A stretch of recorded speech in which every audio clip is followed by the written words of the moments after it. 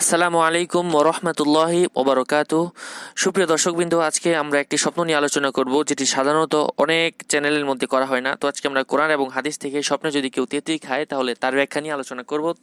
তো প্রিয় দিনী ভাই বোনেরা, আপনারা এ বিষয়ে স্বপ্নের ব্যাখ্যা সাজিয়েছি।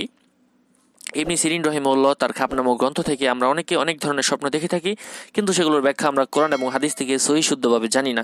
এজন্য আপনারা অবশ্যই জানার জন্য জানার জন্য আমাদের চ্যানেলটি সাবস্ক্রাইব করবেন এবং আপনাদের যদি কোনো কিছু জানার থাকে তাহলে অবশ্যই আমাদের চ্যানেলের মধ্যে কমেন্ট করবেন, আমরা সেগুলো উত্তর দিব ইনশা আল্লাহ তো প্রিয় দিনী ভাই বোনেরা, আজকে আমরা যে বিষয় নিয়ে আলোচনা করব সেটি হচ্ছে স্বপ্নে যদি কেউ তেঁতুই খাইতে দেখিতে পায় অথবা গাছ থেকে পারিতে দেখিতে পায়, তবে সে সর্বদা গতানুগতিক মানুষের মধ্য থেকে আলাদা হইবে এবং সৎভাবে জীবনযাপন করিবার নিশানা সে নেককারভাবে সৎভাবে থাকিতে পাইবে। স্বপ্নে যদি কেহ কাঁচা তেঁতুল খাইতে দেখিতে পায়, কাঁচা তেঁতুল বুঝিতে হইবে, কাঁচা তেঁতুল খাইতে দেখিতে পায়, তবে সে লালসার কারণে বিপদের সম্মুখীন হইতে পারে অথবা তাহার মনে প্রেম বাড়িবার লক্ষণ সে প্রেমের মধ্যে জড়িত হইতে হইতে পারে।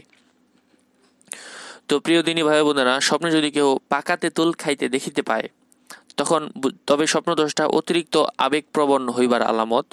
সে অধিক পরিমাণের আবেগপ্রবণ হইবে। স্বপ্ন যদি কেহ তেঁতুলের শরবত পান করিতে দেখিতে পায়, তবে সে অসুস্থ থাকিলে সুস্থতা লাভের আলামত এবং চিন্তা থাকিলে চিন্তা মুক্তি আলামত। সে চিন্তা তার থেকে দূর হয়ে যাবে। কেউ যদি তেঁতুলের আচার খাইতে দেখিতে পায়, তখন বুঝিতে হইবে যে তাহার কোনো খুশির সংবাদ আসিবে, সে অতি দ্রুত খুশির সংবাদ পাইবে। তো প্রিয় দিনী ভাই বোনেরা, এই ছিল আপনাদের জন্য আজকের এই আমাদের আয়োজন।